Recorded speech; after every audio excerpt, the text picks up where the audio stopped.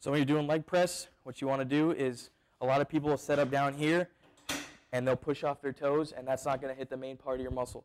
What you want to do is you want to set up high up.